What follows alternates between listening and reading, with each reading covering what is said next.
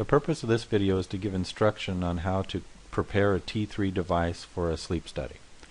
First, you open up the Noxturnal software, then you plug a USB cable into the side of the T3 recorder. Then in the Noxturnal software, click Start a new recording, and you place a check next to snore sound, and then you put a check next to cannula if you're going to use a cannula. And then once you've decided to use a cannula, you have a choice of doing nasal pressure, which is standard flow signal, or if you're doing a follow-up sleep study with a patient on CPAP, you can click mask pressure.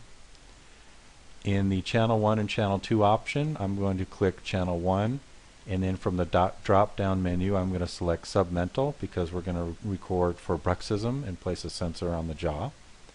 Uh, next I'm going to confirm that there's a check next to oximeter and verify the serial number in the software matches the actual oximeter I'm going to be using for this recording. And then finally I'm going to confirm that there's a check next to show signal status on device.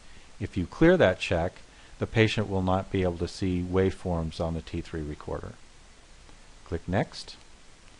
And in this window, we're going to decide whether or not we're going to manually start recording or start recording at a specified time and specified number of nights. So in this section of the setup, you select the time and the dates or day of the study and then you click next or in this case I'm going to click manually start recording and just give instructions on to the patient on how to start and stop the recording. Click next.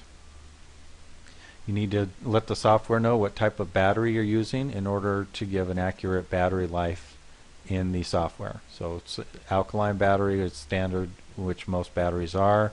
The more ex expensive lithium batteries last longer, and then there's rechargeable battery option, which the T3 can use.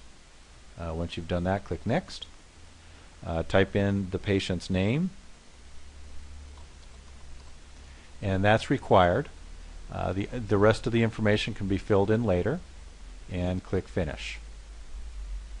Once you see the green thumbs up, that indicates that the message was sent to the T3 recorder and is ready to send home to the patient.